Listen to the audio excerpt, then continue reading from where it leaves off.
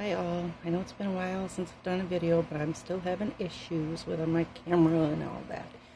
But I thought I would do a quick one to kind of recap the projects that I've been doing, and then I'm going to show you um, something else too, on how to do transfers onto a glass jar.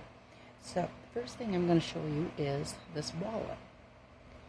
It is made from plastic canvas. Now my mother had made the actual plastic canvas for something else before she passed away, quite a few years before. And so I wanted to do something with it. So I took yarn and I sewed up the two sides and around for a border and I put a snap on it. And it's nothing fancy. I can just put whatever in there. There's no pockets or anything. But then I found a button and I just put that on there. I still have to, you know, uh, shape it a little bit so these sides will stay down. But it, looking at it, I instantly think of my mom. So I'm loving that. The next thing I did was, even though it's not in season, it's a little early, but I wanted to see if I could make a kind of a box or a basket out of cardboard. So I made a little Easter basket. And this is done out of cardboard. And the yellow is cardstock. Um, and the green is um, construction paper. And then I put beads on it. And I cut out some little circles out of a paper punch. And I glued some stars on that. And then I made a couple of bows and glued them together. And I really think it turned out pretty darn cute. And so I'm going to be making some more of these. I'm going to tweak it just a little bit. Um, there's going to be a few things that I think I would have preferred a different way. And so I'm going to try to do one for Thanksgiving. Definitely going to do some for Christmas. And as I get it figured out, once I get my final pattern and technique figured out, I will show you how to make it. It was so simple and quick. I mean, it took less than a couple of hours. All right, and then I don't know if I showed this one already or not, but I had just a plain wooden box that I wanted to, I was going to decoupage the whole thing. So I got this side done and I was happy. And I got that side done and I was happy. And I tried to do the main two sides. I was not so happy. So I took it off and I put a ribbon and some sparklies on it and then I made another bow. I'm really into making those bows. I'm going to show you those too, maybe on a different video. So now I have a really pretty sparkly box that I absolutely adore. Then, today, I got up and I also made a sign for my window to hang in my window that says Happy Thanksgiving. I posted a picture of that already. And then I had a box that I wanted to put just a few incidentals in it, you know, like buttons or whatever. Um, and so I painted it purple and blue. Well, I painted it purple, but I did a few streaks with blue. And I put a whole bunch of different little stickers on it. Um, it says girly girl, and then the side has purses and dresses and a lipstick, and then this was says girls' night and a lipstick, and then a few little sachet things. And I just thought, well, that's just the cutest little thing I can keep near here to keep, like I said, just little bits and, and pieces because we all know I throw away nothing.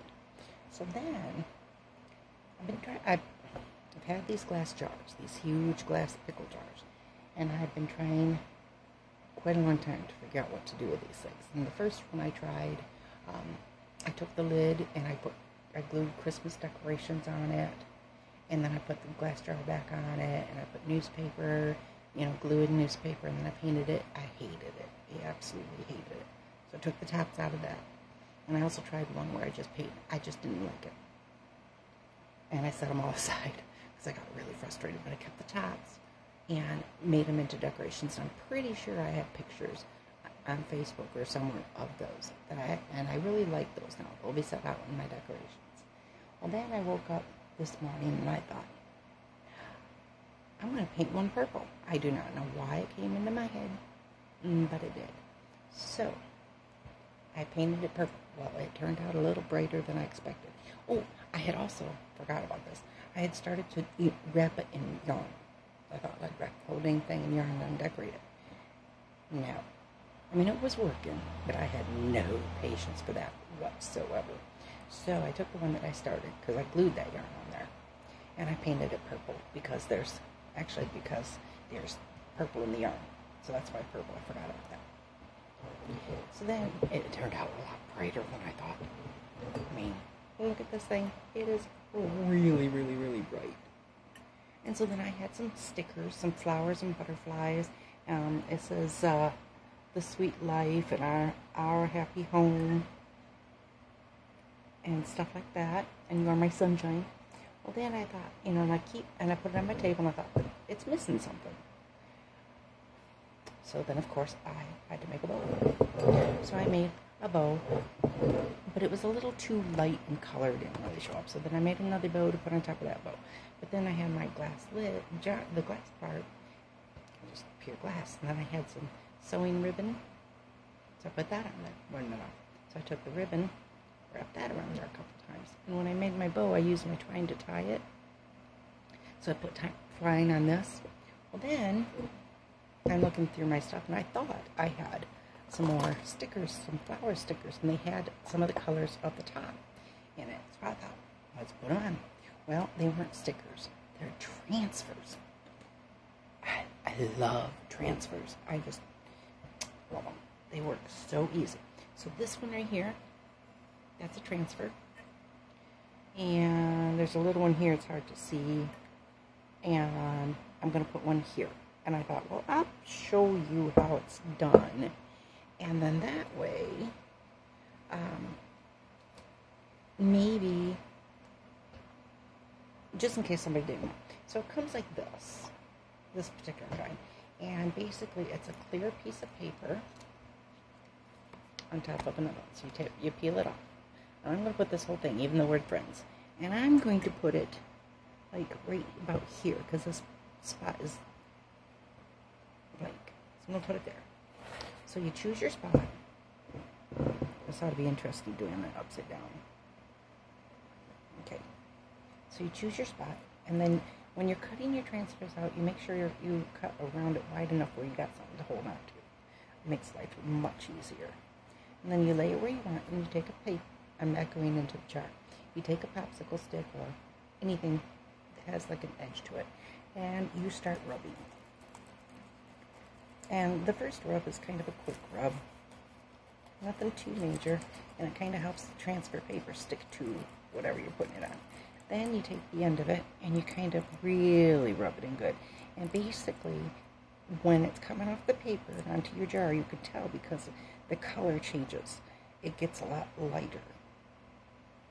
And so you do the whole thing until it looks like it's all off which this will take me just a minute because I'm doing it, uh, well, I'm not facing it, so not necessarily backwards, but normally this would be set on the table and facing me, which would make my life a lot simpler.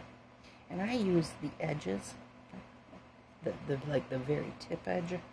Um, I find that it comes off easier than trying to use like the whole straight edge. It's a lot easier to for me to control and go into certain spots.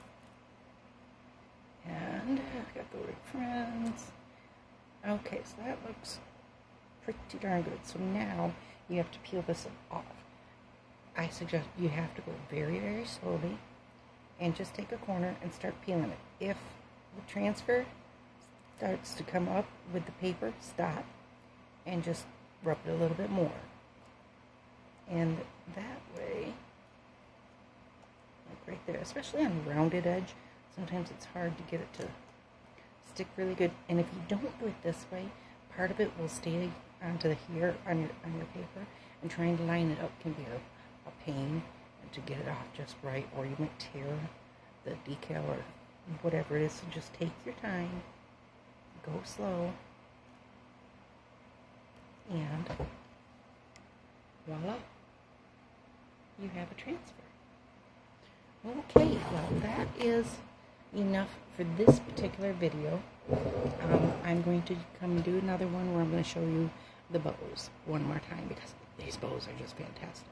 So until then, have a good day and see you next time.